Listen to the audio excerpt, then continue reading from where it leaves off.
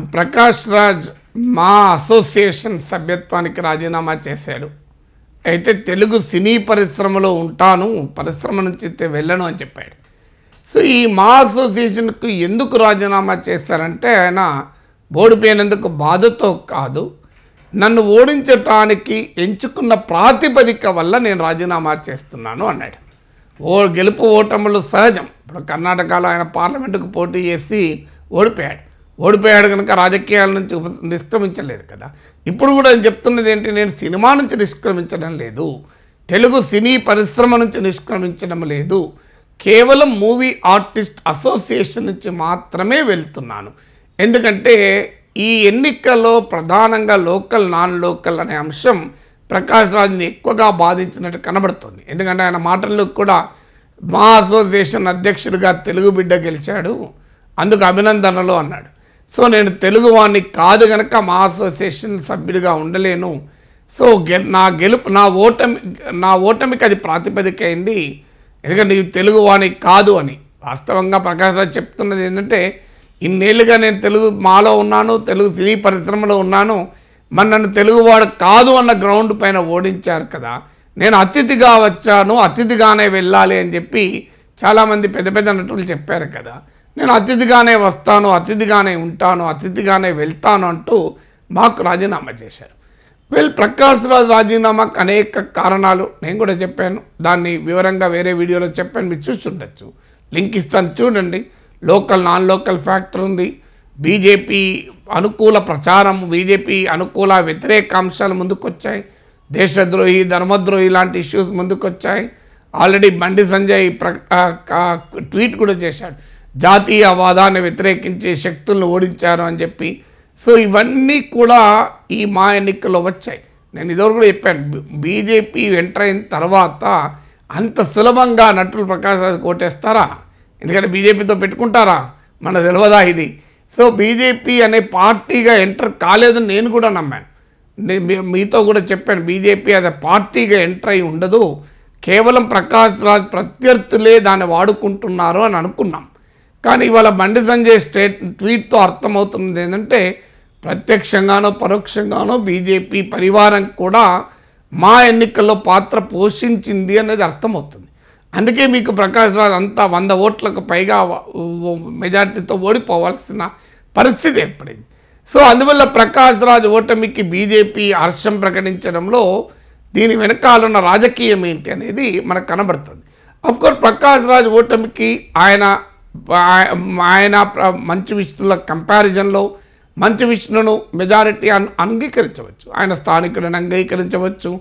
ఇక్కడే ఉంటాడని అంగీకరించవచ్చు. ప్రకాష్ రాజ్ అంత బిజీ కాదు కదా అని అంగీకరించవచ్చు.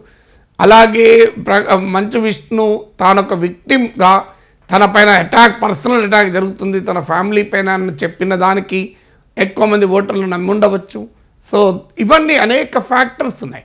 So Prakash Raj body language హావభావాలు డామినేటింగ్గా కనబడచ్చు.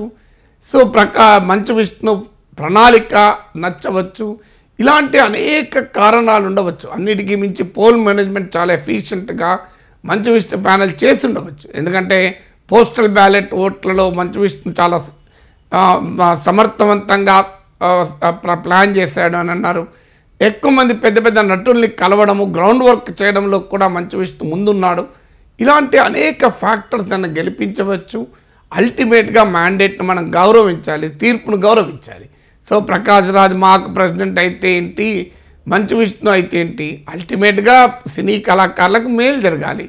అందువల్ల మంచు విష్ణు గెలుపును మనం అందరం అభినందించాలి. అనుమానం లేదు. కానీ ఈ ప్రక్రియ ప్రాతిపదిక ఏదైతే ఉందో ప్రకాష్ రాజును ఓడించటానికి ఎంచుకున్న ప్రాతిపదిక అది మంచి విష్ణే స్వయంగా చేశాడని అనడం లేదు. కానీ దాని ఈ ప్రాతిపదికలో కొన్ని ఇబ్బందులు ఉంటాయి ఒక ప్రాతిపదిక తెలుగువాడు కాదు. సో తెలుగువాడు కానప్పుడు మాలో సభ్యత్వం ఎందుకు ఇచ్చాను? సో ఇది ఒక ఫండమెంటల్ క్వశ్చన్ కదా. ఈ తెలుగు సినీ పరిశ్రమకు సంబంధించిన సంఘం అది. తెలుగు వాళ్ళ సంఘం కాదు అది రెండింటి మధ్య తేడా ఉంది. తెలుగు వాళ్ళ సంఘానికి తెలుగు సినీ పరిశ్రమ సంబంధించిన సంఘానికి తేడా ఉంటుంది. సో ఇప్పుడు మీకు ఉదాహరణకు అమెరికాలో ఉన్న తెలుగు వాళ్ళ అమెరికాలో ఓటర్లు కారా? వాళ్ళు వచ్చి తెలుగు రాష్ట్రాల్లో ఓటర్లు వేస్తు వేస్తున్నారా? తెలుగు అసోసియేషన్ ఆఫ్ నార్త్ అమెరికాలో సభ్యులుగా ఉంటారు. కానీ తెలుగు రాష్ట్రాల్లో ఓటర్గా ఉండరు అమెరికాలో ఓటర్గా ఉంటారు. మరి అమెరికాలో తెలుగు వాళ్ళు ఎట్లా ఓటర్గా ఉంటారని అనం కదా.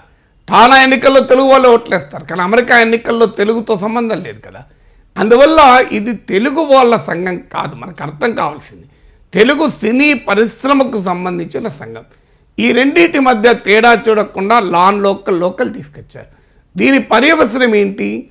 అంటే తెలుగు సినీ పరిశ్రమలో ఇతర భాషలకు చెందిన నటీనటులకు సెకండ్ గ్రేడ్ సిటిజన్షిప్ ఉంటుందా? ఇప్పుడు చాలామంది తెలుగు వాళ్ళకు కూడా ఇతర ఇతర భాషల్లో నటిస్తారు.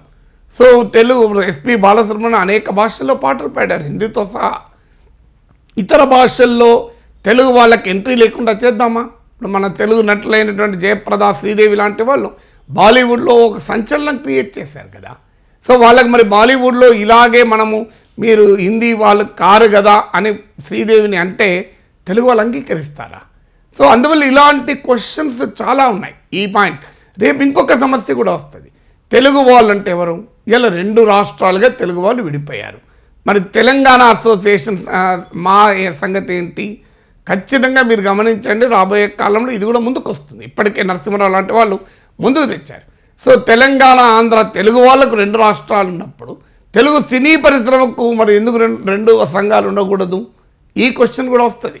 అందువల్ల ఒక్కసారి మనము దాన్ని లోకలైజ్ చేస్తే లోకల్ నాన్ లోకల్ అంటే లోకల్ ఫర్ తెలంగాణనా లోకల్ ఫర్ ఆంధ్రానా అనే ప్రశ్న రాకుండా పోతుందా? ఇక రెండవది జాతీయవాదం అని పట్టుకొచ్చారు. విచిత్రం ఏంటంటే జాతీయవాదం ప్రాంతీయవాదం రెండు కలిపి తెచ్చారు నరసింహరావు లాంటి వాళ్ళు. మరి జాతీయవాదం అనుకున్నప్పుడు తెలుగు కన్నడ మనం ఏం జనగమన పాడతాం? పంజాబ్ సింధు గుజరాత్ మరాఠ ద్రావిడ ఉత్కల వంగ వింధ్య హిమాచల యమునా గంగ కదా? మనం అన్ని భాషలకు భారత భారతీయ భాషలను గౌరవిస్తాం కదా?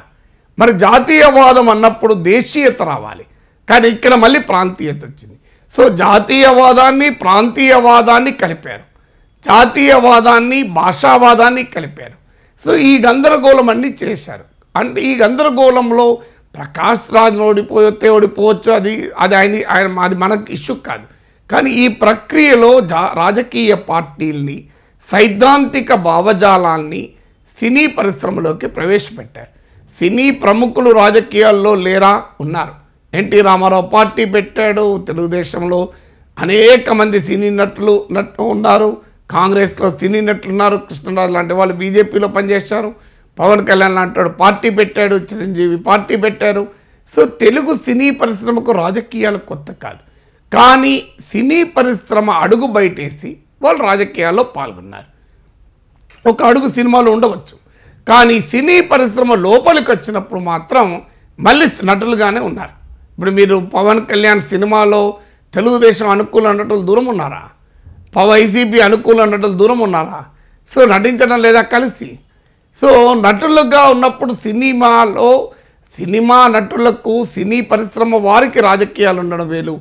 సినీ పరిశ్రమలోకి రాజకీయాలు తీసుకురావడం వేరు ఇవాళ ప్రకాష్ రాజ్ను ఓడించే క్రమంలో ఒక రాజకీయ సైద్ధాంతిక భావజాలాల్ని సినీ పరిశ్రమలో ప్రవేశపెట్టారు. సో ఇప్పుడు ఇది ఇంతింతై వటుడింతై అన్నట్లు ఈ భావజాలాల ఘర్షణ సినీ పరిశ్రమను ఐక్యం చేయదు విడగొడుతుంది. ఎందుకంటే ఇందులో అన్ని రకాల భావజాలాలు ఎంటర్ అవుతాయి. ఇక మీరు చూస్తుండండి బీజేపీ యాంటీ బీజేపీ ఏంటి?